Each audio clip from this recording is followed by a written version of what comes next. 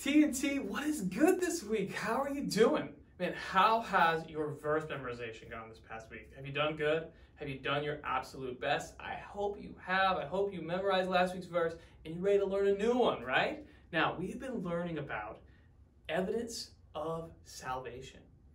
What is evidence of salvation? Well, that's just proof that we actually believe what we believe. Sometimes we say, Am I really saved? Am I really in a relationship with God? Am I really going to go to heaven when I die? Well, how do we know whether we, we are or not? God puts evidence into our life that will become really apparent, will become so obvious to us that we are, in fact, God's child. It's really special. So we learned about a few of those so far.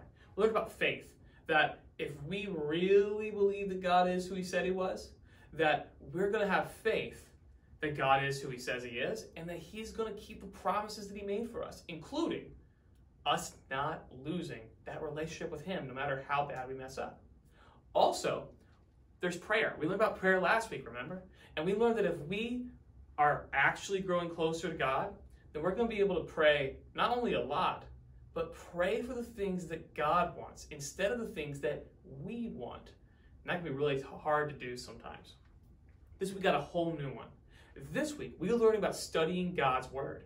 That's right. If you are a follower of God, a child of God for real, then you're going to want to study God's Word. Now, if you're in Awana right now, I think you're doing a good job at that. Maybe you hate Awana. You only watch these videos because your mom and dad make you. All right, well, first of all, thanks for showing up. Appreciate it. But in general, I know many of you really enjoy learning new things about God's Word, and you lo- love learning new things about the Bible. That's great. I hope that continues to grow in you, and I hope that you continue to want to learn more and more about the Bible each and every day. But let's learn this week's verse that talks more about that exact subject.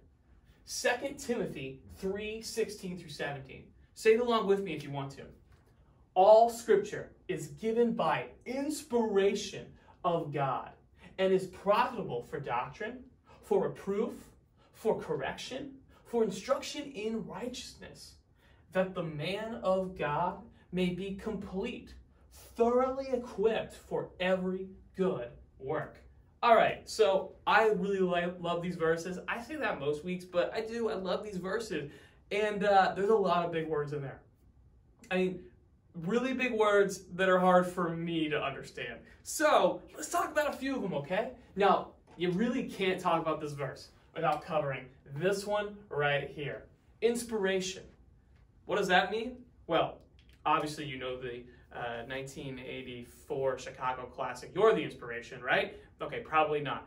But an inspiration is something that makes you want to do something else, right? It, it makes you want to be great, right? That's not what this means here. So even if you know the definition of inspiration, forget it, all right? Don't even think about inspiration. Instead, I want you to learn something totally new. Because the word that we have here in Greek is theopneustos. you want to say that with me? All right, you ready? Theopneustos. One more time. Theopneustos. Don't worry. I, I, know it sounds like you're. I know it sounds like you're casting a Harry Potter spell. You're not. All right. Theopneustos means God breathed. Just go like this. right? That's what this what this one word means. It means God breathed. So all scripture, all the Bible is breathed out by God. Think about that. Every single Bible verse you have was breathed out by God. Everything from Genesis 1 1 to Revelation 21 something, or Revelation 22 something, you get the idea. Now, all of it, God breathed out. And as other people were writing all this stuff down, they were getting these waves of inspiration where God was specifically influencing them to write down the exact things that God wanted them to write down. That's so cool. Every single Bible verse that you've learned up to this point, every single Bible verse that you've read in your lifetime was breathed out by God. Now, that alone is cool, but there's more we got to talk about because also you have all these extra words in here, like profitable. What does that mean? It means worthwhile or useful. So, profitable for what? For doctrine. What is doctrine? Doctrine is truth. It's profitable for learning or teaching or understanding new information. Okay, so if I want to know more about, uh, you know what, with uh, Sparks this week, we're talking about Joshua. If I want to learn more about what Joshua did, where do I go? The book of Joshua, right?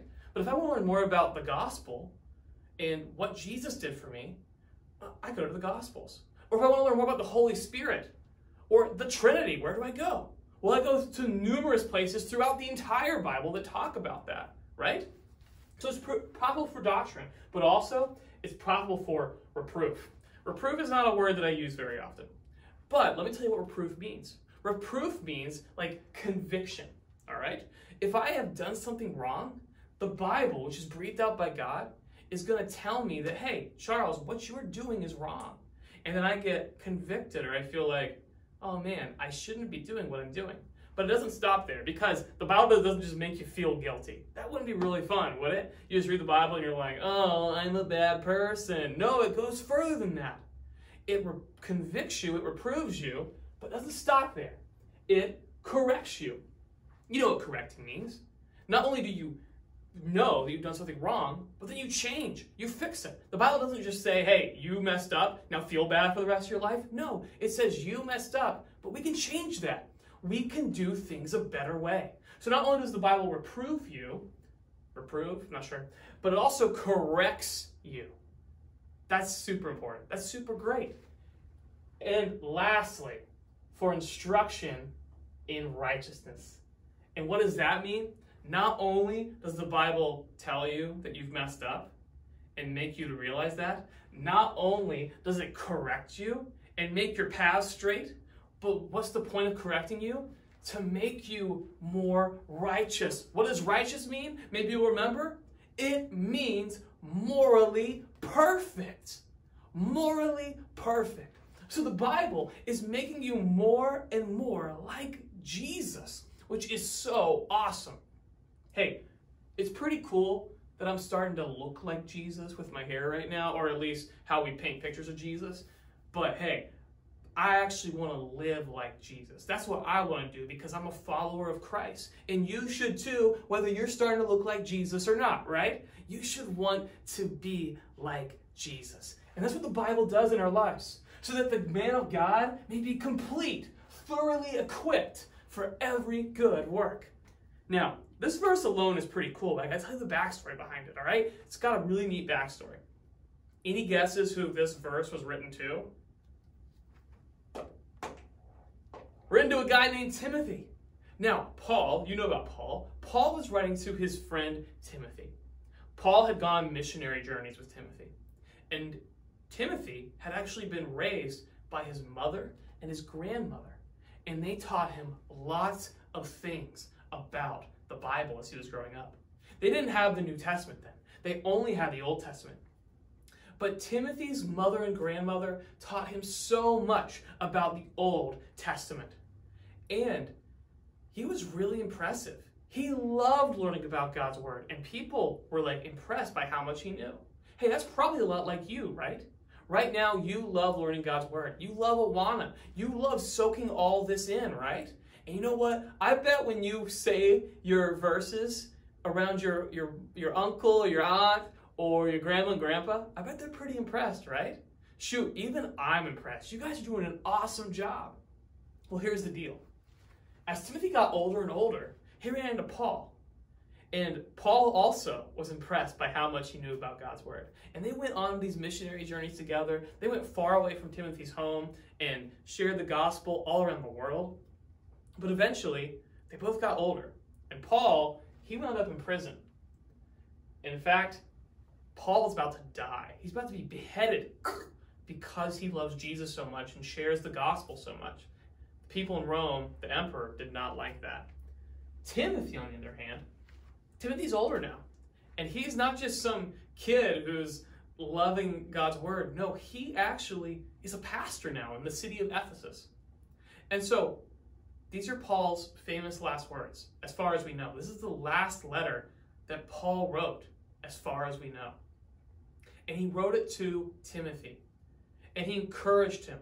He supported him. He said, You're doing a great job. Here's some other things you can do to make things even easier, to do an even better job what you're already doing. But he said, Hey, don't let other people boss you around. Don't let other people push you around. And also, he said, make sure that you are teaching other people to love the Bible, to love God's Word, just as much as you love God's Word. And so that's what Timothy was doing. And Paul is reminding him of these truths so that he could teach other people about God's Word. Now, why do I share this story with you? First of all, it's a cool story. But also, like I said, you yourself are a lot like Timothy right now. You love God's Word, at least I hope you do. You do, in my eyes, because of how much you put into Awana each week. So, my hope for you is that one day you'll be like Timothy that it wouldn't stop here. That you wouldn't just study God's word now, earn your Awana shares, buy the helicopter or whatever it is that you want from the Awana store, and then go on about your life. My hope is that you would continue to love God's word more and more. I hope that you yourself would go on those missionary journeys one day. Man, it'd be really cool if you got to go serve God overseas, maybe for just like a few weeks at a time, but maybe for the, your whole life. I would love it if you became a pastor one day. I would love it if you became a Sunday school teacher one day. Or there's so many other things that you might one day do for God. And guess what? Even if you don't get a job where you get paid to share the gospel like I do, you still can make a huge impact teaching other people about God's word. Even if you're a teacher, a plumber, a garbage man, a uh, a, a news anchor. I mean, there's so many different ways that you get to talk to people on a daily basis. And you get to tell them about how much you love Jesus and how much you love God's word. And so that's my hope for you is that you will be a Timothy, just like Timothy. All right? Hey, I just want to remind you of something. We don't have any Awana videos coming out next week. That is because, if you remember, we uh, had to uh, make the Awana schedule last August. And when we made that schedule, we thought that we were going to be able to come back for in-person Awana by the end of the year, but that did not work out, all right? COVID stuck around a little bit. So we had put some breaks in there. One was in February, and then one was this upcoming Friday, which is also when we have our Good Friday service. We can't have in-person Awana when we have the Good Friday service, all right? It's, it would be chaos. It would not be good, right? So we already had that break scheduled. And so rather than, like we said a few weeks ago, rather than put out a whole new schedule where we put in new dates, we decided to keep you guys on the same schedule. So, hey, go back and memorize some old verses that you're not as familiar with. Because remember, for every Awana verse that you have already learned that you go back and say, that's 10 uh, sorry, that's one extra Awana share, up to 10. So you can get some Awana shares this week just by going back and saying old verse instead of learning a new one. Those are some easy shares to get, all right? So I encourage you to do that. Also, we normally would have had Family Night Out next week on April the 2nd, but also uh, Family Night Out and the Good Friday service also wouldn't really work well happening at the same time. So push that back one more week, and we look forward to seeing you at Family Night Out on April the 9th, all right? Hope you have a great week, and we'll see you next time. God bless.